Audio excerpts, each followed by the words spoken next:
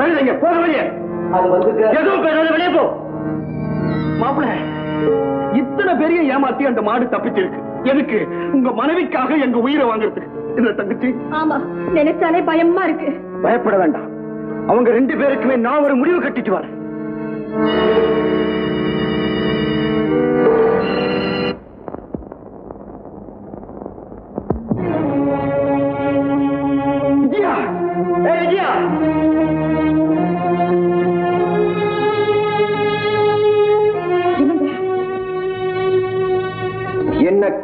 காட்டு பங்களாவுக்கு போனதும் இல்லாம நான் வேண்டாம் சொன்ன இந்த மாட்டை மறுபடியும் வீட்டுக்குள்ள சேர்த்து வச்சிருக்கியே உனக்கு என்ன சொல்லிச்சேன்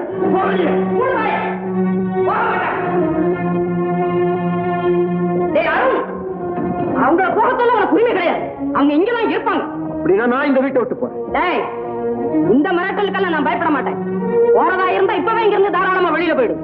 அருண் ஒன்னே ஒண்ணு ஞாபகப்படுத்துறேன். டேய் நீயா தான் என் மருமகளோட வளர்த்துக்கிட்டு போற. அதனால இன்னையில இருந்து இந்த வீடு வாசல் சொத்து சுகம் எல்லாமே அவளுக்கு தான் சொந்தம். அவர் இதயத்துல எனக்கு இம்மி அளவு கூட இடம் இல்லாத போது உங்க சொத்து மட்டும் இல்ல இந்த உலகத்துல இருக்கிற அத்தனை சொத்து சுகம் கிடைச்சா கூட எனக்கு என்ன பிரயோஜனம்?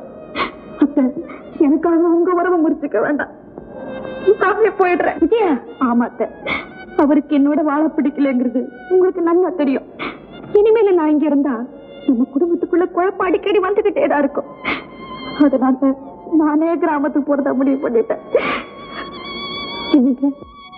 மனைவிங்கிற முறையில போகும்போது கடைசி அவங்கள ஒன்னே ஒண்ணு கேட்டுக்கிறேங்க.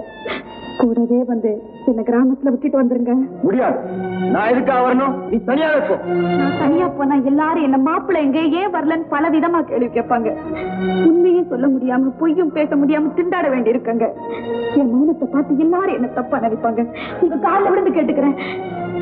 நான் என்னுடைய எல்லா உரிமைகளையும் விட்டு கொடுத்துட்டேன். இந்த ஒரு உரிமையாவது எனக்கு கொடுங்க. என்னை கிராமத்துல கொண்டு போய் விட்டுருங்க. முடியாது முடியாது முடியாது.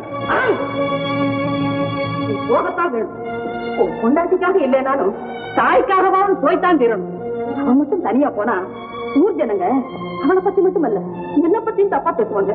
நீ கெஞ்சி கேட்டுக்கிறப்பா போயிட்டு வா. நான் போக மாட்டேன். அம்மா தயவு செஞ்சு என்னை வற்புறுத்தாது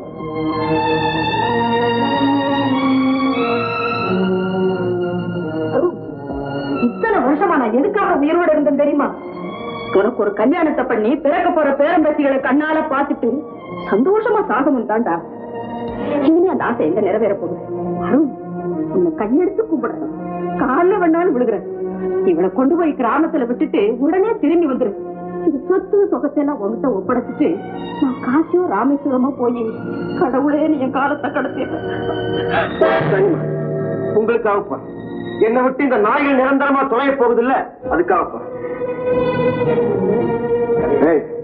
ஊருக்கு போக தயாராரு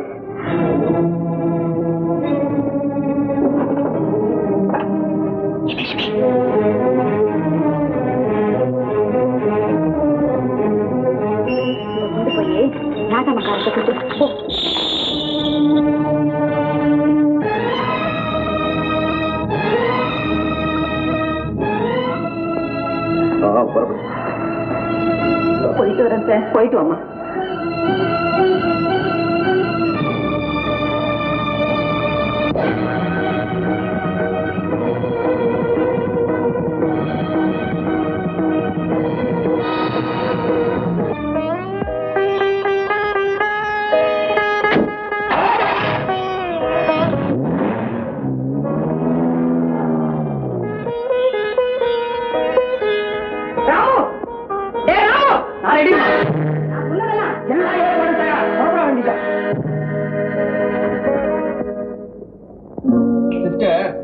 மாப்பிள்ளை நம்ம பக்கம் ரொம்ப ஸ்ட்ராங்கா இருக்கலாம். ஆனா சட்டமும் சமூகமும் நமக்கு எப்பவுமே எதிர்கிறான் அதனால சுருட்ட வேண்டியதை சீக்கிரமா சுட்டணும் இதுதான் பிரதர் பந்து சொல்ற சின்சியர் அட்வைஸ் கவலைப்படாதீங்க. காரியத்தை கச்சிதமா முடிச்சிடுறேன். அது என்னென்ன சத்தம்? மறுபடியும் மாறி வந்துருச்சா? இருக்காதே. மாப்பிள்ளை போன விளக்கத்துக்கு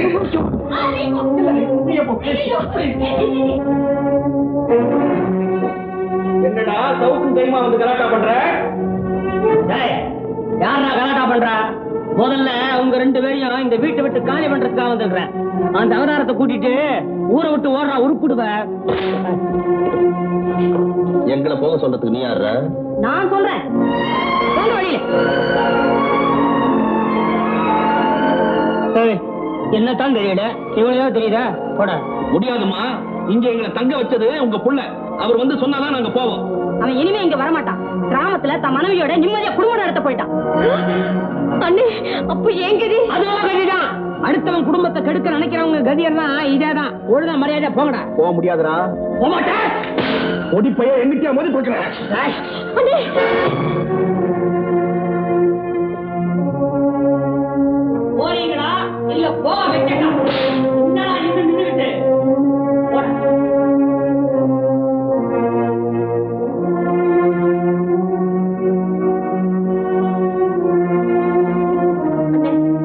கவலைப்படாத தங்கச்சி.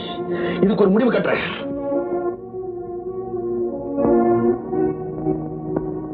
நாட்டான லட்சுமி திடீர்னு கருதாசி கொண்டு வந்திருக்க என்ன விஷயங்க சீக்கிரம் படிச்சு சொல்லுங்க. சந்தோஷம் செய்யுதான் விஜயா மாப்பிள்ளை கூட்டிட்டு நம்ம ஊருக்கு வரதான். அப்படியா?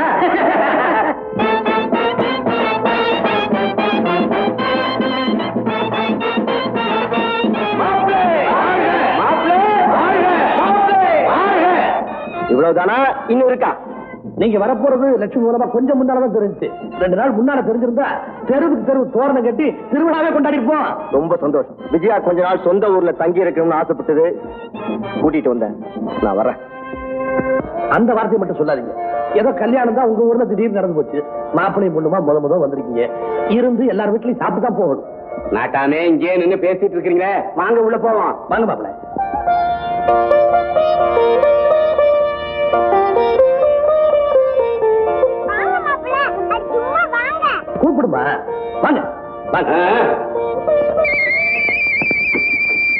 தங்கச்சி வலது கால எடுத்து வச்சுவாமா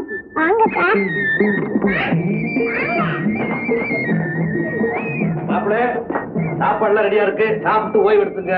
நாளைக்கு காலையில பலகாரம் நம்ம வீட்டுல இருந்து வந்துரும். நாட்டாமே மத்தியானம் நம்ம வீட்டுல ராத்திரி நம்ம வீட்டுல இருக்குல்ல? நாளைக்கு நம்ம வீட்டுல?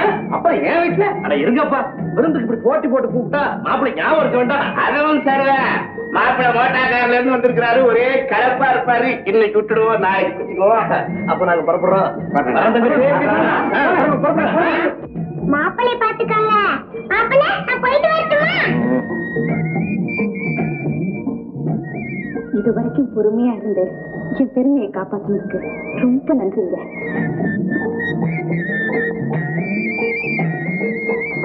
ஏன் கதவை சாத்துற? உங்ககிட்ட தனியா பேசணும். பேசுறதுக்கு என்ன இருக்கு? மை வேர்ட் இஸ் வேர்ட் உன்னை நான் கொண்டு வந்து விடுறேன்னு சொன்னேன் விட்டுட்டேன் வரேன். நில்லுங்க. என்ன? நீங்க போக முடியாது. போனா? ஊர் மக்களுக்கு என் மேல இருக்கிற பாசத்தை பாத்தீங்கல்ல?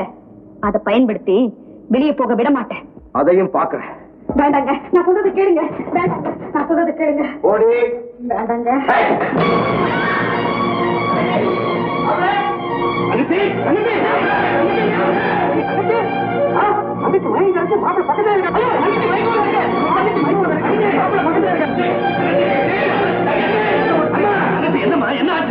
ஒண்ணும் இல்ல. அவருக்கு பால் கொண்டு வர அடுப்பாங்கிற பக்கம் போனேன். இந்த பூனைல பூனை. அது திடீர்னு என் மேல பூச்சிருச்சு அதான் பயந்து அழுகிட்டேன் அவ்வளவுதான். அதானம்மா பார்த்தேன். நீ போட்ட சத்தத்தை கேட்டு உடம்பே அடி போயிடுச்சுமா ஆமாமா வாசலோடயே ஊருக்கு போறேன்னு சொன்னாரு மாப்பிள. அவரை வற்புறுத்தி தங்க வச்சமே. அந்த கோபத்துல ஒன்ன ஏதாவது போன செஞ்சு நிறுத்துங்க. அவருக்கு என் மேல எவ்வளவு அன்பு இருக்குன்னு தெரிஞ்சுக்காம அனாவசியமா சந்தேகப்பட்டுட்டீங்களே இப்ப சொல்றேன். எனக்கு வாச்ச மாதிரி ஒரு கணவர் வேற எந்த பெண்ணுக்கு கிடைச்சிருக்காது. எங்க அவர் என்னம்மா சொல்றது? அதான் நீ சொல்லிட்டிய. மாப்பிள்ள எங்களை மன்னிச்சிருங்க. தங்கச்சி மேல உள்ள பிரியத்தினாலதான் அப்படி எல்லாம் பேசிட்டோம். ஏன்னா இந்த கிராமத்துல இருந்த குடிகாரன் கூத்திக்கல்ல சூதாடி எல்லாரையும் திருத்தி பல பிரிஞ்ச குடும்பங்களை ஒன்னா சேர்த்து சந்தோஷமா வாழ வச்சது தங்கச்சி தான். அதுக்கு ஒண்ணுதான் அதை எங்களால தாங்கிக்க முடியாது. அதான் அவசரத்துல வார்த்தைகளை கொட்டிட்டோம். மறுபடியும் கேட்டுக்கிறேன் எங்களை மன்னிச்சிருங்க. நாங்க புறப்படுறோம். ஏன் நான் அப்பவே சொல்லலையா? அவங்களுக்குள்ள ஒண்ணு இருக்காதுன்னு. நீங்க வேற நேரம் கட்ட நேரத்துல. வாங்க வரோம்